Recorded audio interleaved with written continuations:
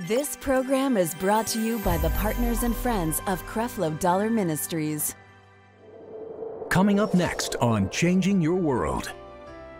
We got to stop talking to God about the problem and start talking to the problem about what God has already provided and the, and the solution for the problem. We got to start talking to the problem. Corona, in the name of Jesus, that's the problem. You stop right now. I bind you right now. I bind that spirit that's behind you right now. Uh huh. Yeah. That's when things will start happening. Get your daily dose of grace on the Changing Your World podcast with Creflo Dollar. With the Changing Your World podcast, you have encouraging and life changing wisdom at your fingertips 24 7. Gain a revelation of the fullness of God's grace from Creflo Dollar's powerful sermons. Tune in whenever you need to be edified, no matter where you are. Subscribe to Changing Your World podcast with Creflo Dollar today on Apple Podcasts, Spotify, or your preferred podcast platform. This is your world. So let's vow to make it a better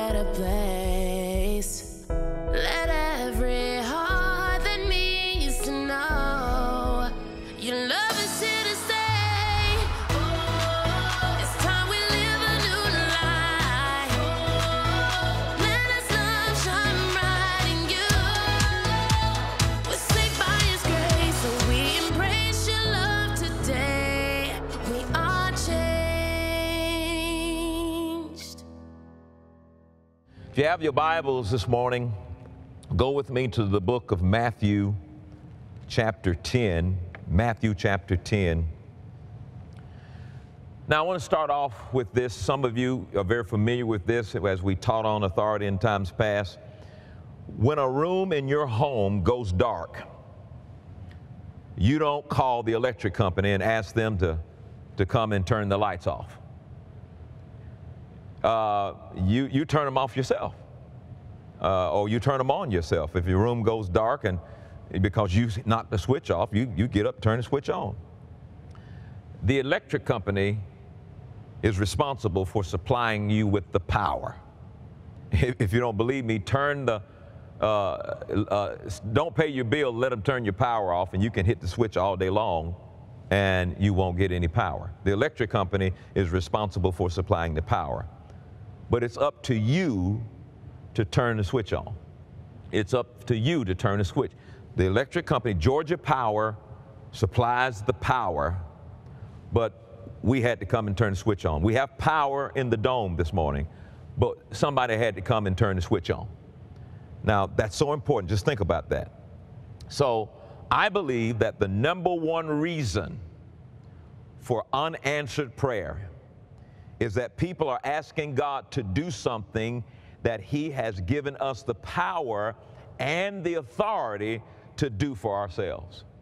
The number one reason for unanswered prayer is that we continue to ask God for the power and the authority uh, to do something when He's already given it to us for us to do it ourselves. So, asking God to do things that He told us to do isn't going to bring answered prayer to our, to our, to our prayers. I mean, We're asking Him to do something that He told us to do. Now, you remember me saying this God will never answer a prayer uh, where you ask Him to do something that He's already done. But also, God will never answer a prayer to do something that He told you to do. And so you can pray about all of the trouble in the world right now, and you wonder, well, it doesn't seem like God's answering my prayer. Well, He didn't tell you to pray about certain things, certain things He gave you the authority to do. So we're trying to get God to do something that He told us to do. So asking God to do things He told us to do isn't going to bring answers to our prayers. Now, we really, we don't really understand the authority that God has given us as believers. The average Christian approaches God as if they have no power, as if they have no authority. And that, that's got to change. That's got to change. There's certain things that will not change on this planet if we don't walk in our authority. Now look at this in Matthew chapter 10, verse 1.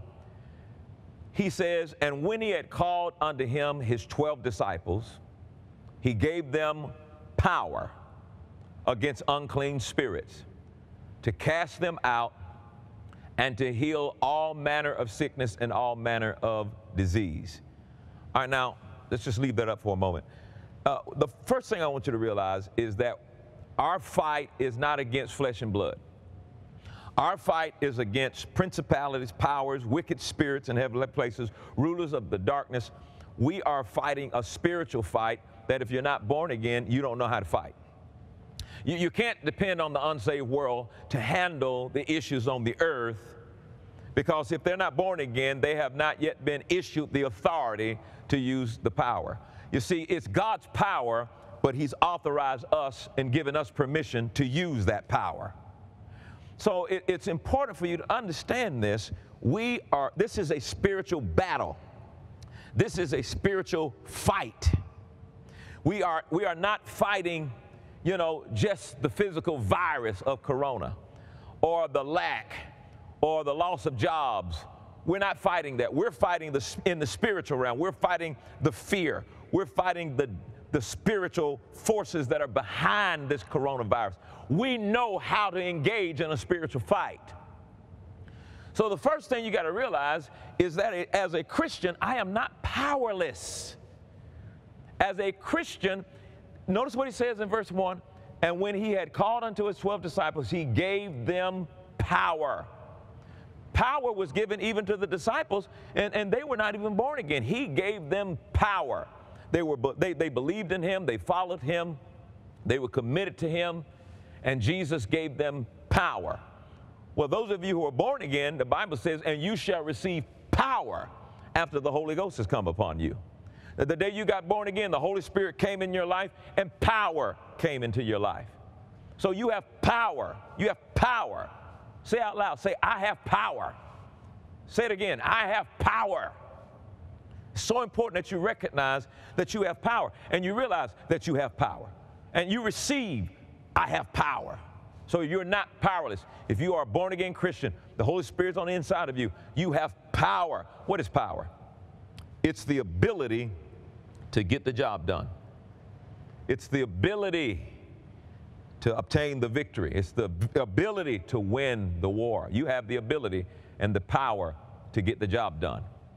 So if anything's going to change in this weird season where uh, this, this kind of a different kind of normal for people, if anything's going to change, it's going to be because we, Christian people, will stop being afraid, recognize we have power, and then recognize we have authority to execute that power. Amen.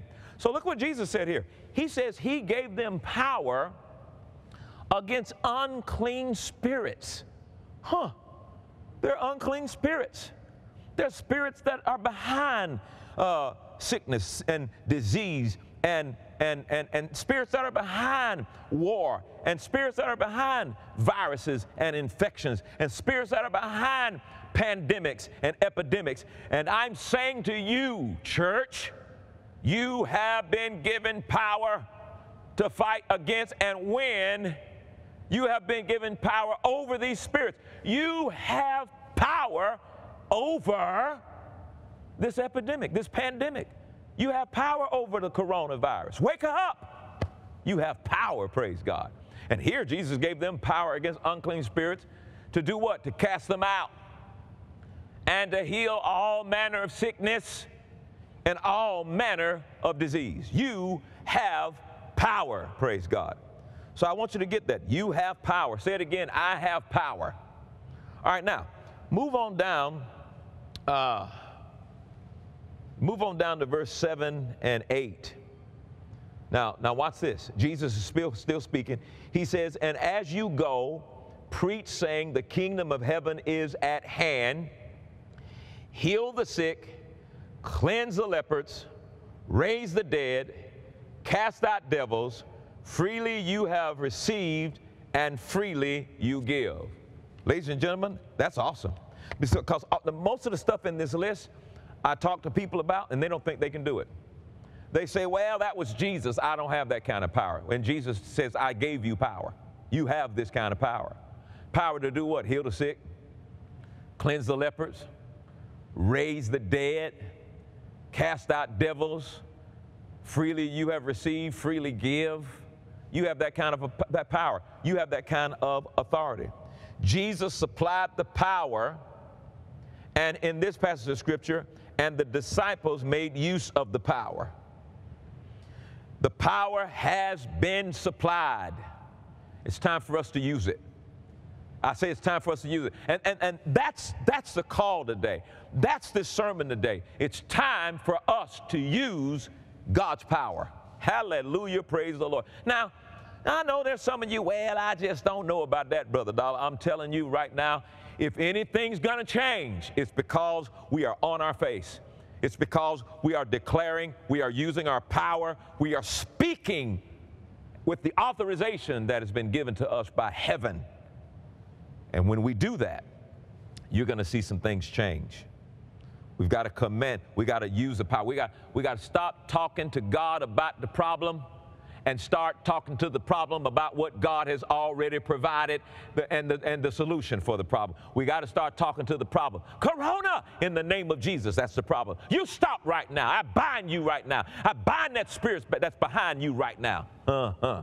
Yeah. That's when things will start happening. Satan thinks, oh, he's just kind of enjoying it right now. He better enjoy it while he can because, as far as I'm concerned, it ends today.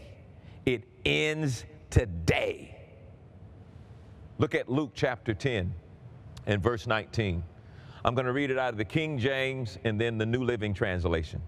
Luke chapter 10, verse 19, verse out of the King James. Now, listen, this is going to be, this is, we're going to see clarity who really believes and who don't. I'm not talking denomination, I'm, t- I'm talking the Word of God. That if you believe the Word of God, and if you believe what He has said concerning us that we have been given power and that we have a right to command. We have a right to use His power to command things on this earth. You know, prayer, you have the authority to pray. But you know what prayer does when we do pray? It gives heaven consent to get involved. It gives heaven consent to get involved. We're not going to God and begging and, and praying like some little weakling. We're going to God and we're saying, Heaven, you have consent. That's what he meant. Whatever I bind on the earth, it's already bound in heaven. Heaven now has consent. Whatever I loose on the earth, it's already loosed in heaven. Heaven has consent. So therefore, I loose a healing over this earth. I loose a paralyzing effect against the coronavirus. You're paralyzed right now. I bind you in Jesus' name. Man, I tell you, that's powerful. And when we can start talking like that, instead of a bunch of little scared folks, oh Lord Jesus, uh, stay back, stay back. I'm not, I'm, I'm not, you know, against that, but dear God, you hadn't even, you haven't even released your authority, praise God. And you're opening your life up to fear and opening your house up to fear because you won't, you won't recognize who you are. Now, I, listen, I already know. I, I got some religious folks who just think that I have lost my mind. Well, I have. I lost my mind and I got his mind now. Praise God. I don't, I don't, I'm not, I'm not walking through this time with my mind. I'm going to have the mind of Christ and pay attention to what he has said about this thing. Amen. I'm telling listen, the world, they, they don't have an answer. They're searching every day, coming up with everything they, they think is right. But we do. We have an answer. And it's time for us to do it. It, ain't, it won't be the first time the church pulled the world out of it. It's time for us to get it done. It's time for, I'm calling for every born again Christian who knows the power of prayer and their authority to get on it right now. And in Jesus' name, see this thing come to a close.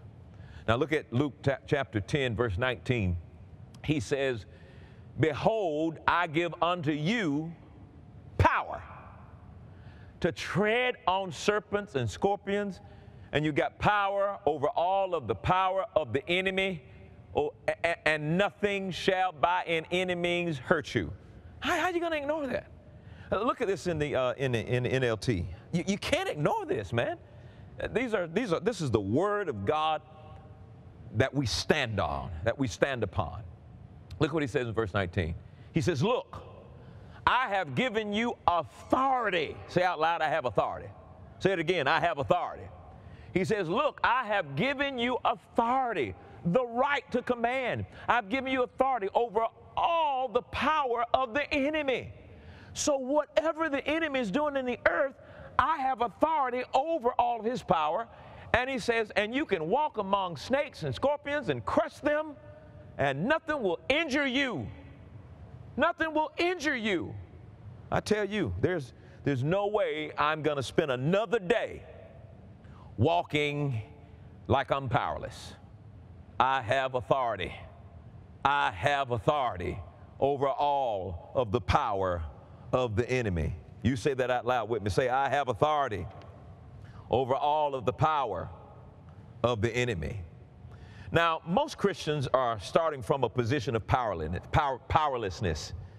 Uh, they're saying things like, Lord, we are nothing. We can do nothing. We're just, we're just waiting on you, God. God, stretch forth your hand and heal, oh God. You know, they're pleading with God and, and they're begging with God to release His power, which is completely contrary to Jesus' command in Matthew chapter 10, verse 7 and 8. Heal the sick, raise the dead, cast out the devil. Glory be to God.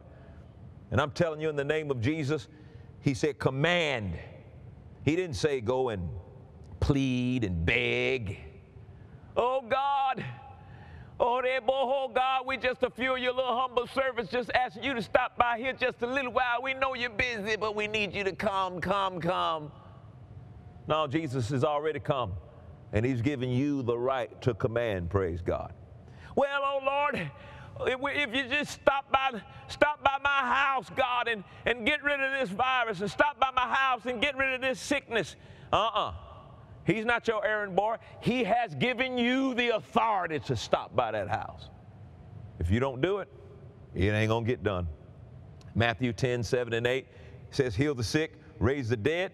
He didn't tell us to pray and ask God to do it for us. He told us to do these things now.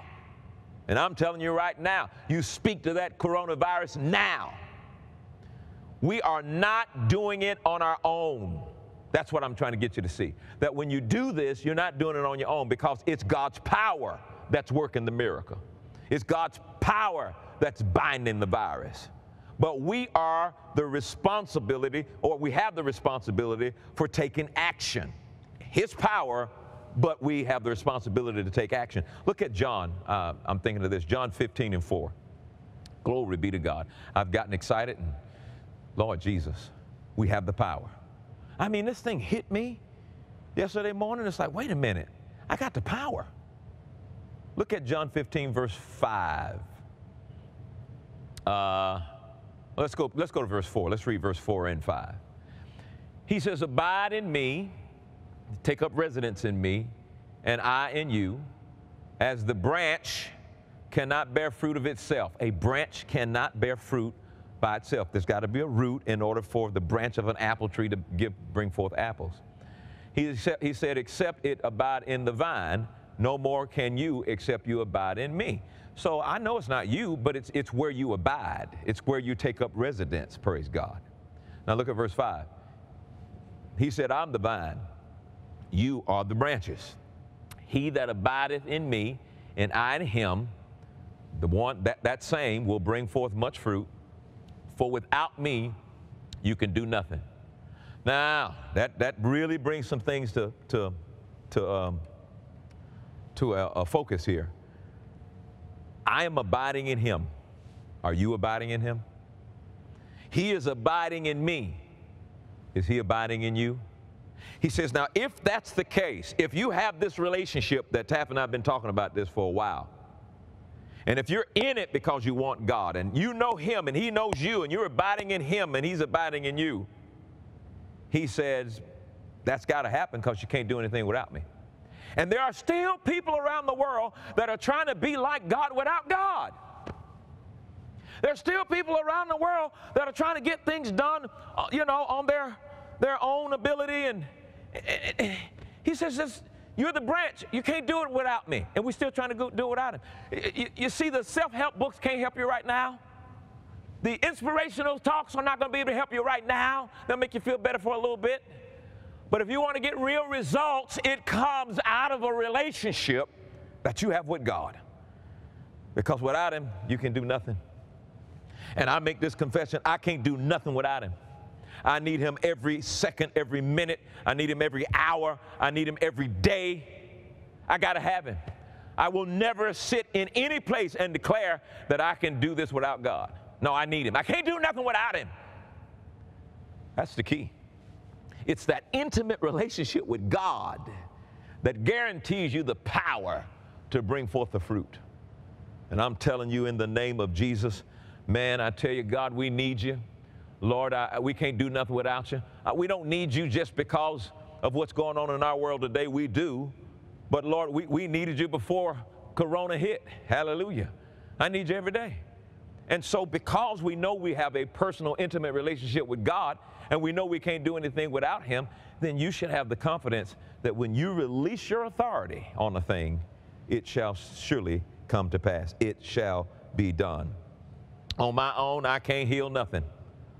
On my own, I can't heal nothing. Well, the same thing's true with you. On your own, you can't heal nothing. Now, you might think you can, but you can't. And there's so many people that, that try. They, they don't have a relationship with God, and they're so busy trying to build an image, and, and, and, and they have an image with no power. They have an image with no results. Power is the ability to get results. And, and, and, and I want results in my life. When I lay hands on the sick, they recover.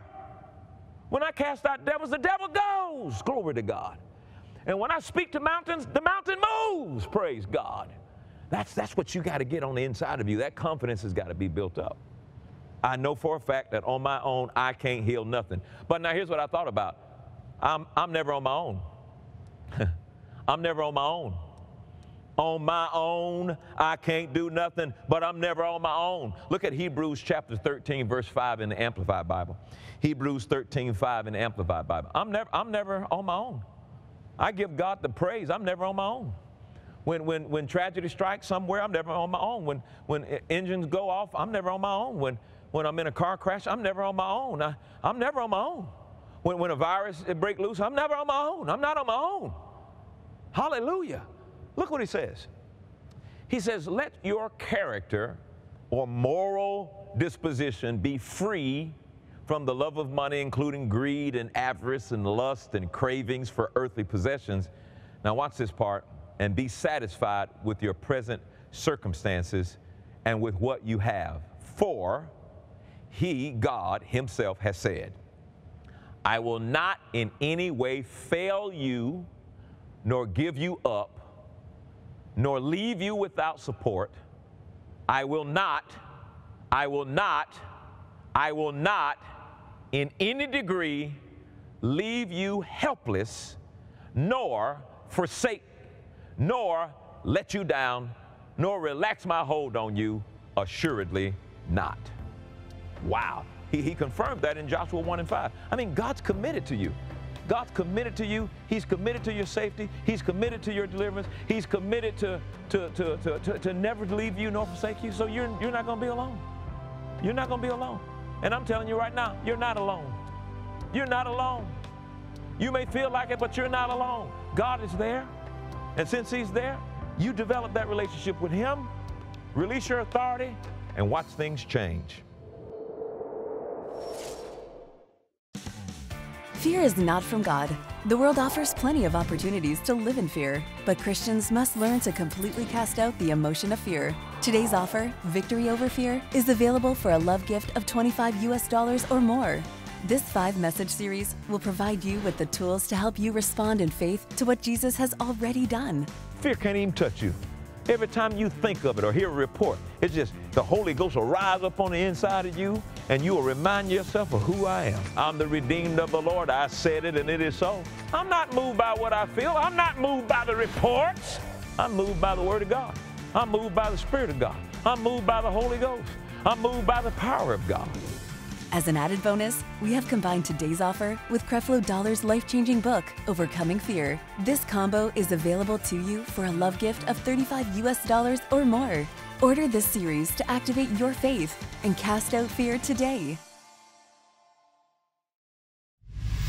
Men, it's our time to dive deeper at the 2021 Mentality Men's Conference. Join us online on September 10th and 11th for two days of dynamic teachings from Creflo Dollar, raw and uncut. You're trying to live by a code that's no better than trying to live by the Abrahamic law. It's going to require you trusting in what you can do more than trusting in God. You can trade in the man code and you can take hold of this gospel of grace and you can live by the finished works of Jesus Christ. Don't miss out on this revival of manhood at the 2021 Mentality Conference. We got to give you the word of God. You got to learn some stuff. Wake yourself up and get this on the inside of you. You cannot live without Christ. You're about to receive real resolution in your life, so mark your calendars and register today. Simply text mentality to 51555 or visit creflodollarministries.org.